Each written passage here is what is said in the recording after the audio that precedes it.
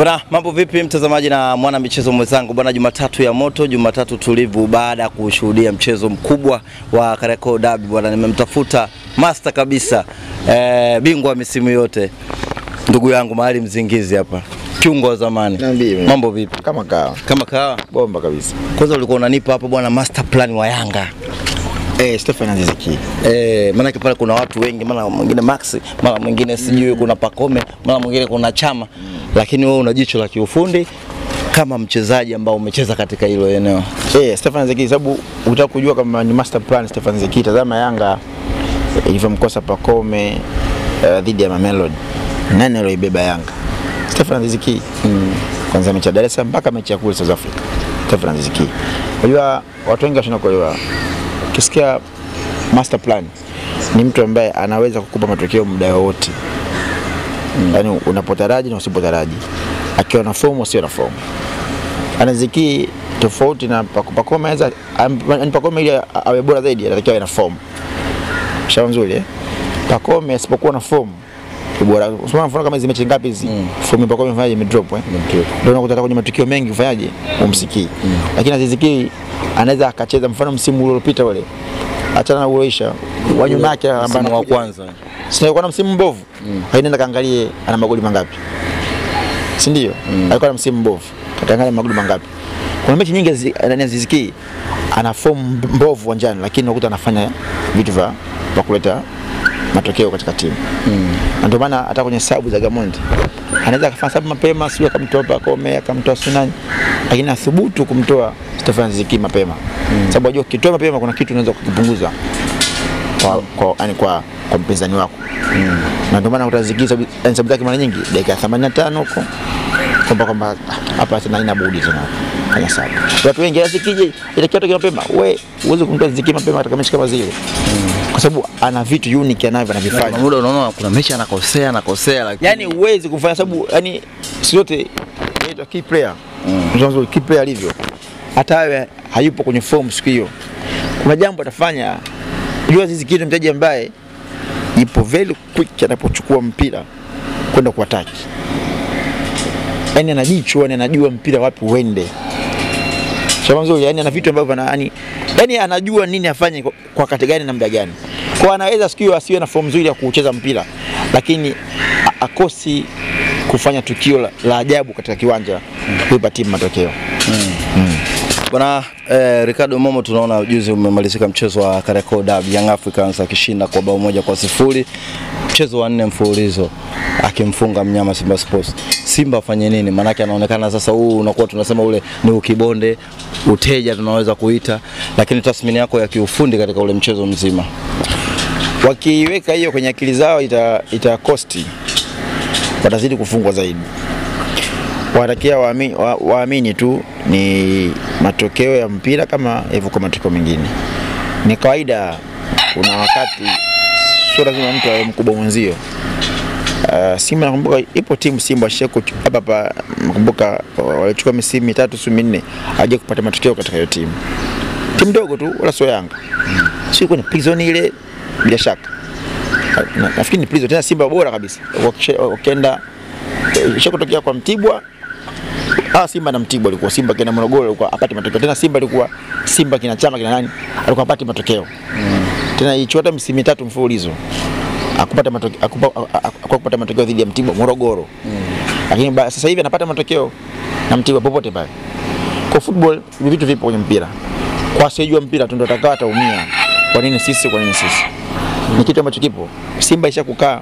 nakumbuka Yanga mara mwisho alimfunga Simba mwaka elfu mbili na moja kwenye ngao ya jamii. Goli alifunga Lunyamila goli la pili. Na marehemu alisufuti jana. Mbili moja. Yanga katika kuanzia elfu mbili na moja mpaka elfu mbili na tisa. Yanga alifunga Simba mara tena alifunga tatu kuanzia elfu mbili na- mbili mpaka elfu mbili na tisa. Alifunga Simba mara hii? Tena goli yenyewe alifunga naniliu alifunga Simba Mwanza ilikuwa ni mechi kama ya hisani kitu kama hicho au ngao kitu kama hicho. Tatu bila. Wapi? Mwanza. Pia hesabu kuanzia 2022 mpaka 2000 na ngapi? Elfu mbili na mbili mpaka na elfu mbili na tisa. Na tisa eh. Mara hii? Moja. kama mtu ana- anajua historia hii aingie Google akagoogle akaangalia. Ilikuwa ushindi wa Yanga akishinda basi sare. Yanga alikuwa akitangulia wanafungwa, wasipotangulia wanafungwa. Kuna mechi Yanga alifungwa, Simba yuko pungufu watu tisa uwanjani, no. tisa uwanjani. Yanga anaongoza goli moja, Simba akafanya comeback. Wako tisa uwanjani, ulimboka Makingwe, Morogoro hiyo Jamhuri hiyo mm. Yanga alifungwa. Ushafahamu vizuri mm. Kwa hiyo hivi vitu vilikuwepo. Kwa sababu gani? Yanga aliweka pressure, ilikuwa ah, kwani Simba kwani Simba watufunga. Hiyo pressure ile kile kienda nafunga. Mm. Kwa hiyo ukiwa ukiweka pressure na kile kienda ukifungwa inazidi kukudidimiza, yani kukutia hofu zaidi, uoga zaidi. Mm. Kwa siku unatoka kwenye upinzani unakuwa timu ya kaida kwa mpinzani wako. Kwa hiyo maana yake kufika 2009 sasa, nakumbuka Yanga ndo anapata matokeo kwa mara ya kwanza kwenye dimba tena, uwanja unazinduliwa Benjamin Mkapa hapo, unazinduliwa na me- mechi ya Simba na Yanga m- 2009 goli afunga Boniface Ambani. Baada ya Beni Mwalala na timu huko anapiga mtungi, Ambani anafunga goli, Yanga anashinda goli hili moja bila 2009 hapo ndo Yanga sasa akaanza kupata sasa matokeo, lakini sijaanza akafungwa naye akapata au sare. Eh, kwa muda mrefu nilipenda kipindi kirefu hapo, pia amehesabu 22 mpaka 2009 pia amehesabu. Miaka mingi sana. miaka mingi eh. Kwa hiyo kwenye football ni vitu vya kawaida sana hivi, yaani kufungwa na mpinzani wako, sio mechi ngapi. Simba atakiwa waangalie tu. Wao nini wanataka wakirudisha katika msimu huu, warudishe kumfunga Yanga au warudishe mataji si ndio? Eh, kwa ujibu kwamba Simba anachotakiwa sasa hivi ukirudisha kwenye mikono yao ni mataji, si ndio? Eh, Mm. kwa hiyo washakosa ngao, wana, wana shirikisho wana ligi pia wana FA, watakiwa wajipange katika haya makombe matatu, basi kama sio mawili au yote au moja hapo, mm. kufanyaje walipata mshamba mzuri. Alafu hayo mengi, unajua ukirudisha kwanza nguvu ya uchampion, hayo mengine yanakuja lakini ukiwaza ah, okay, umemfunga Yanga lakini sio champion, faida yake ni nini? Hayo ndio malengo ya Simba kwa, kwa msimu huu, si ndio? eh? Bado ana opportunity pia kupoteza mechi mbili katika msimu dhidi ya Yanga, ngao pamoja na ligi. Pia nafasi pia ya, ya, ya, ya, ya mechi ya marudiano, pia kuna FA pia usijua nini kitatokea. Kwa wana nafasi kubwa ya kujipanga. Wakiwa wanyonge eti mara, nne mfululizo haileti maana, mm. kwa sababu tumeona timu nyingi duniani kubwa kwenye debi zao. Mfano mfano mzuri tu AC Milan mm. debi yake na Inter alifungwa mechi sita mfululizo na Inter Milan, moja hapo zikiwepo goli tano walifungwa kama unaona vile Simba hivi Mm. lakini Tuzo kapata nini ushindi Sahihi. Tuzo kamfunga, lakini katika mechi zote sita ambazo alizofungwa AC Milan ndani yake amechukua ubingwa AC Milan. Simba vizuri? Ubingwa nini? Wa Italia. Wa Italia. Kwa Simba atakayoangalia tu wao mahitaji yao makubwa ni nini katika msimu huu.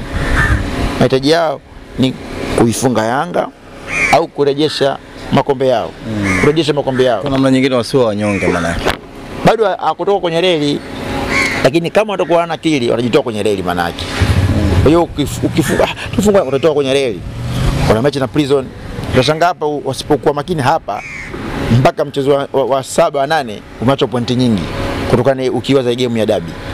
Hiyo ione kama ni matokeo kama ni matokeo mengine. Ndio nikakwambia Simba shoka msimu minne hajamfunga Mtibwa akiwa Morogoro, Prison wakiwa wapi kule Mbeya. Kwa si vitu vya ajabu kutokea kufungwa na Yanga mechi nne ni vitu vya kawaida sana katika mpira. Tena katika nne yenyewe ukiangalia tatu kwenye ligi, moja kwenye ngao, ni vitu vya kawaida sana kwenye mpira.